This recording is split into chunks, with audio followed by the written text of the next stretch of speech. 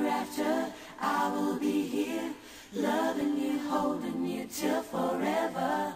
Now and hereafter, I'll be a girl, desperately, hopelessly in love with you stay?